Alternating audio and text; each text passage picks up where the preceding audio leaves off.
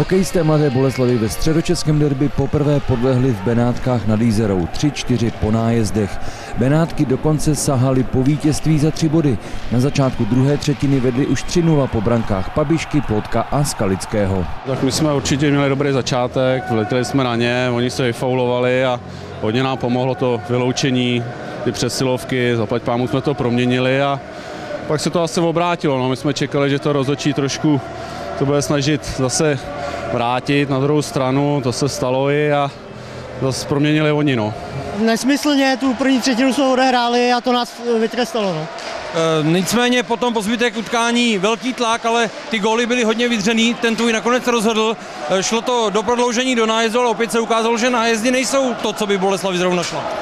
Je pravda, no, že nám to moc nejde, tak my se snažíme hrát, aby k tomu nedošlo. No, a bohužel dneska to takhle dopadlo. No.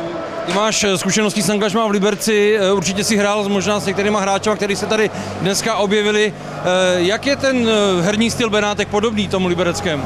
Tak já nevím, v Liberci jsou už jiný hráči, než když jsem tam byl, jiný trenér, takže asi to nějakou návaznost má, ale, ale já to nestuduju, takže nevím.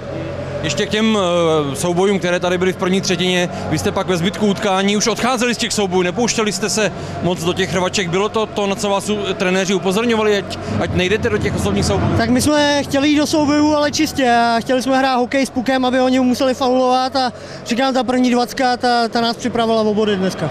Mladá Boleslav ve druhé polovině utkání zvýšila tlak a dokázala dokonce řádné hrací doby díky brance Starého a dvěma trefám Klimenty srovnat.